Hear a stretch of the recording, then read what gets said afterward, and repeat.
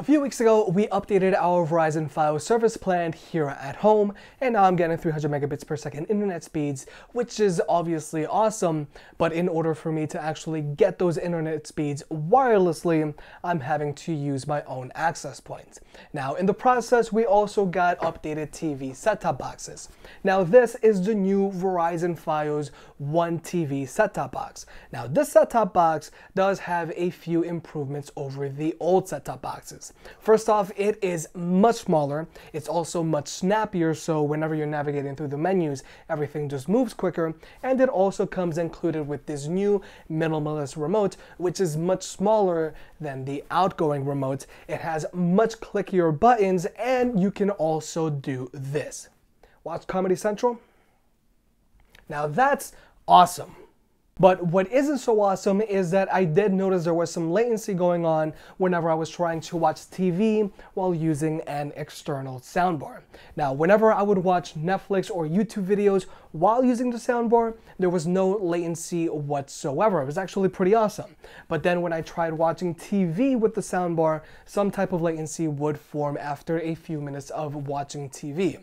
Now, just so that we're all on the same page, I'm using a Samsung 7 Series 4K smart TV with a JBL soundbar, which for transparency, JBL did send this out for review, so expect a video on this in a few days or so.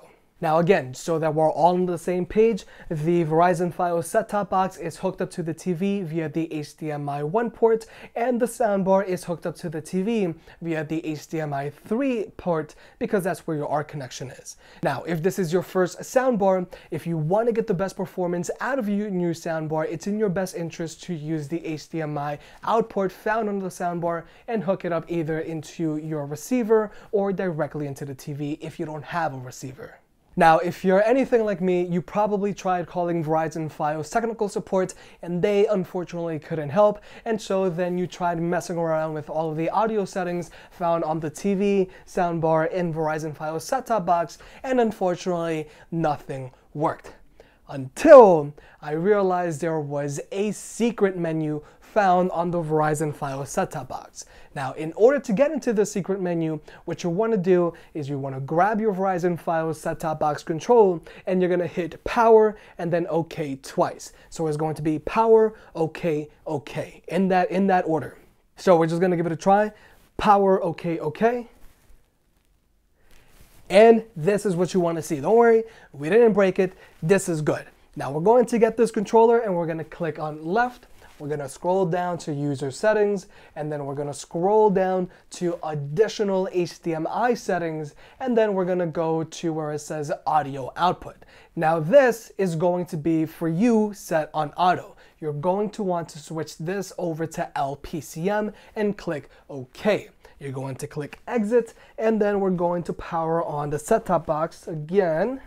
And that's how you fix any audio latency issues while trying to watch TV while using an external soundbar. Now, I know this video is very different from the types of videos that I usually make, and it's probably going to help a very small portion of people. But I've been dealing with this issue for almost a week now, and it just, this audio latency would just drive me insane anytime I was trying to watch TV. And it was a hair pulling process trying to fix this issue because everything that I did just didn't work. So remember, all you gotta do is click power, okay, okay, and then you're going to get access to that secret menu. If you made it this far, I guess you enjoyed the video, so hit that like button and get subscribed. It helps out more than you realize. If you want to pick another products up mentioned in this video, those will be linked in the description down below, and you can also support the channel by checking out the merch store. But other than that, I'll catch you next time.